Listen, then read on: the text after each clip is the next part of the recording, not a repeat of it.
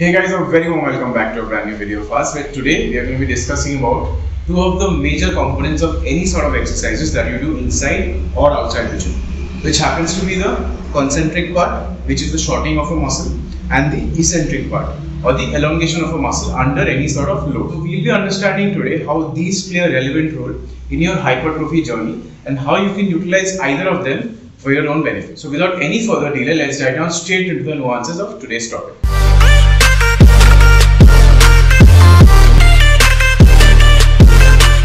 So as you can see on the screen, the basic essence of the concentric movement is to shorten a muscle or to flex a muscle.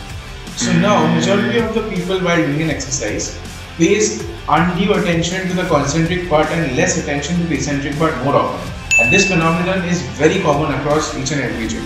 Especially uh, beginners or those people who are not aware of what they're doing. I get the psyche behind it that whenever you're shortening or contracting a muscle, the pump or the tension that you feel is tremendous as compared to the elongation part of it. But what you have to remember and what science tells us is that the eccentric or elongation of the same muscle under load plays a lot more vital role in actually giving you that tension which stimulates the muscle enough to cause hypertrophy. So in other words, what happens is this movement also plays a very vital role in creating the necessary damage that is required for your muscles to grow on a microscopic level. So this not only helps you in gaining more muscle mass, but it also makes your workouts a lot more effective and a lot more efficient. So next time whenever you're doing any sort of exercises, just remember to keep the tempo very slow even on the eccentric portion of it. Say for example like you see on the screen, I'm doing four different exercises here and on each and every one of those exercises, I'm making sure I'm getting a thorough eccentric overload as well along with my concentric overload.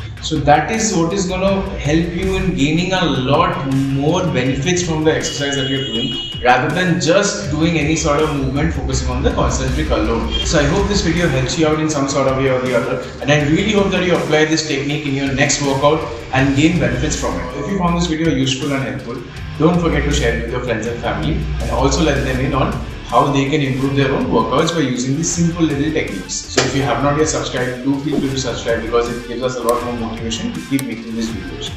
Having said that guys, this is your coach Provin Show signing off for the week. See you all again next week with another cool video. Alright guys, so now that you know how to lose muscle and to gain fat, this is Ankit Shrom signing off. See you. Run.